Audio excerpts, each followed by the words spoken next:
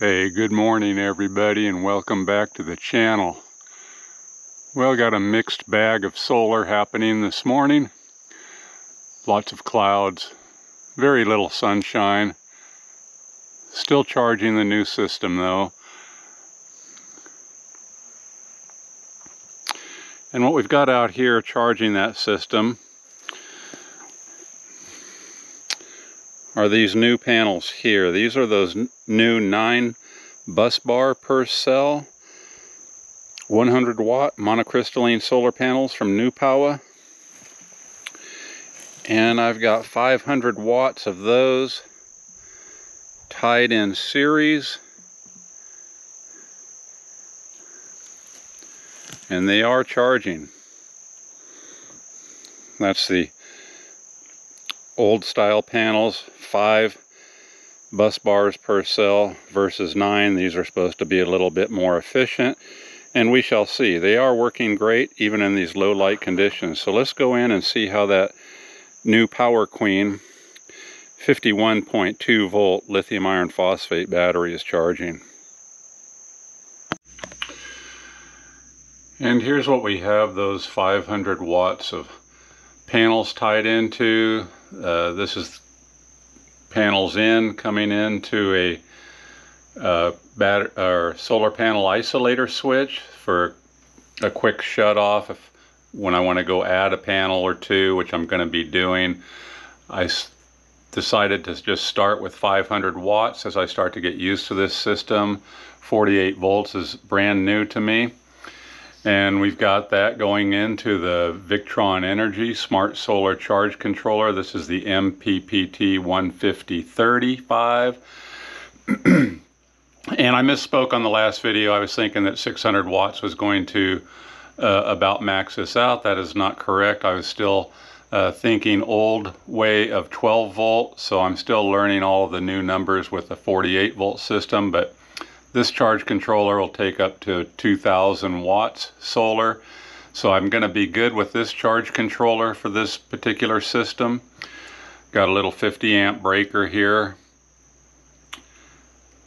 And this is just a, a table. I've got a lot of this mounted under a table, so I'm in a little cramped space, but got the bus bars here. And I'll move around here in a second and show you, but Got that 3000 watt pure sine wave inverter, 48 volt from Reliable Electric. Uh, I really like their inverters, they work well. And I'll crouch down here and show you how I've got this Power Queen tied up.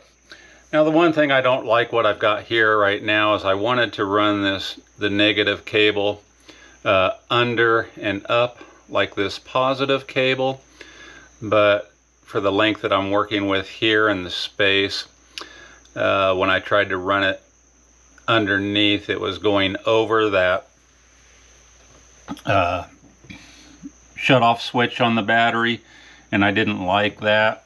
I think what I'm going to do is turn this around to where it faces out, put it on a couple of blocks a few inches above the ground, and then run instead of these two foot cables that I'm using now. I've got some three foot and then I can run them underneath the battery and come up and tie it from underneath and it'll make it look a lot nicer and neater. But I'm not 100% sure that this is where I'm going to leave it. So I just wanted to start charging it, uh, which I am doing, albeit very slowly today. It's become much darker since I came in here to start filming this. But I'll show you what it looks like on the on the Victron app and what we've got so far today. But yeah, that's the Power Queen 51.2 volt, 90 amp hour lithium iron phosphate battery. Uh, server rack style that they've just come out with. Very excited, putting a, its first charge on right now. And right here I'll show you I've got a 100 amp breaker up there coming off the inverter and I've got a 100 amp breaker right there. Thought about putting a fuse in right there. Uh, some of you mentioned maybe a class T fuse. I may do that. Uh, having a little bit of a problem finding some of those right now. I'm still thinking about it, but for right now I'm going to use these breakers. And I think I'm going to go ahead and replace those with those Blue Sea breakers, which are a little bit higher uh, quality than these, but these should be fine for me uh, for right now. And I like the, the ability to be able to disconnect everything real quick. And of course the the on-off switch on the battery is nice. If there's ever a problem, I can shut the power off at the flip of a switch. So coming to the app, uh, as you can see right now, off that 500 watt string, horrible conditions. It's very, very dark, only 51 watts. Got 83, 80. The voltage is fluctuating quite a bit, but we'll call that 80 volts. 0.6 amp current off the solar and the battery voltage is reading 53.21 and 0.9 amps and it's in the bulk state so this is the very first charge that it's seen if I go to the history uh, even in these horrible conditions already this morning 420 watt hours of power put into this battery. So uh, not great but like I said it's very very dark today. So that just gives me a indication of what I'm doing 49 watts it's supposed to stay dark and rainy for a few days so this may take a while to get it up to uh, full absorption. Um, I'm hoping it doesn't take that long but it looks like it might. And one of the things that I did to help myself get used to working with 48 volt system as I went online, uh, hand wrote out a, a 48 volt state of charge chart for me to have quick reference to. I am so uh, not used to 48 volt state of charge values that I wanted a quick reference that I could just look at the battery monitor which is showing 53.03 volts right now. And I could see what is 53 volts, you know, near 80% charge anyway. These are the values that I just don't have at the top of my head after living on 12 volt for 30 years. And let's see what it says. So 53 point, 53 volts we'll call that. And then the Victron charge controller is reading it as 53.21. So just a little bit of difference between the battery monitor and the Victron. Uh, but as we all know, pretty much every device will give a little bit different reading. But yeah, I like being able just to walk in here and I can quickly look at the battery monitor and quickly see about where I'm at. I'm going with the preset 48 volt charging parameters for lithium iron phosphate on this Power Queen for its first run. And if I decide to adjust those values later as I get used to this, I can do that. But I was really hoping to be able to show you guys what those panels looked like in full sun. And here it is about 12 noon right now. And if if those clouds moved out and gave me full sun, I'd really love to see that thing up at around 500 watts and see what the voltage would do as well. I mean, there it is. It keeps fluctuating around that 80 volts. But I wanted to see what it was like in full sun. But everything's looking real good. This is going to take me a little while to get my head around all these various numbers that I'm watching now. Like I said, I'm so used to 12 volts, so this is quite a big jump. But I'm going to take my time, learn this system slowly but surely. And here's what I was talking about earlier. I mean, I'm sitting up at this tabletop right now. There's the top of the table. I've got all of these underneath a, a table. And what I want to do is I want to turn this around to where the front, where the battery cables is facing out this way.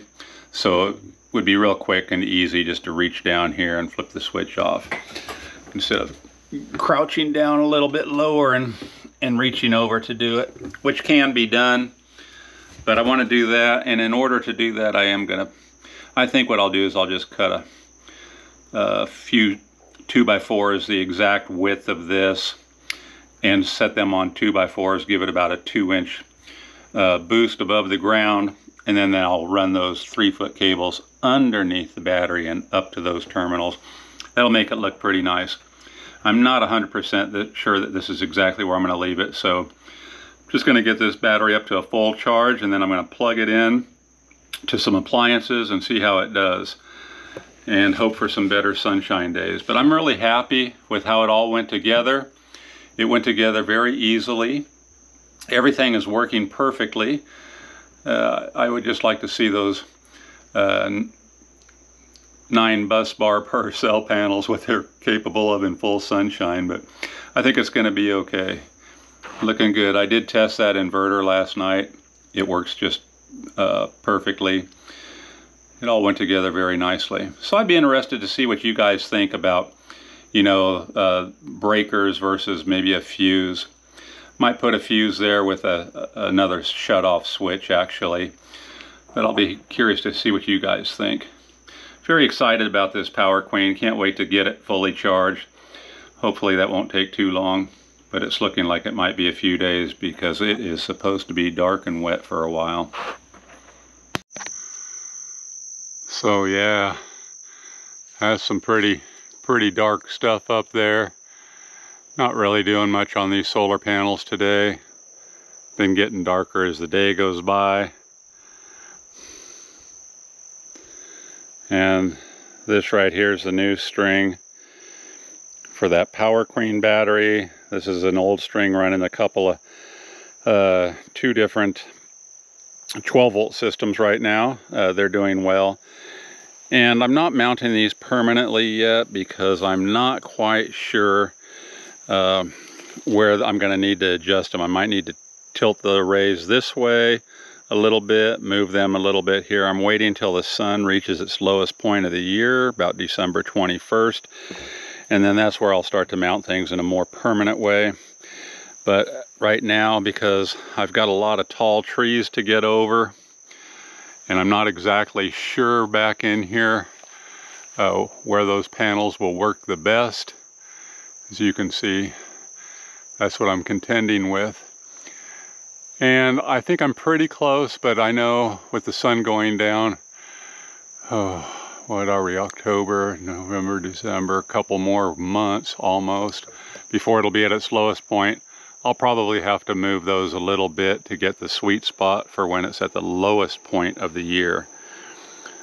So I'll keep playing around with it, get them dialed in perfectly.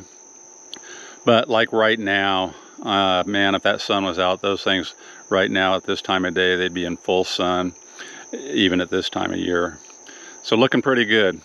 I'll keep you guys informed how that battery works. Gonna put a pretty good load on it when it gets fully charged for its first discharge. Gonna tie in like two appliances at once and see what happens. Refrigerator, freezer, that's kind of what I'm thinking. All right, hope you all are having a great day. Thanks for stopping by the channel. Catch you on the next one. Aloha, everybody.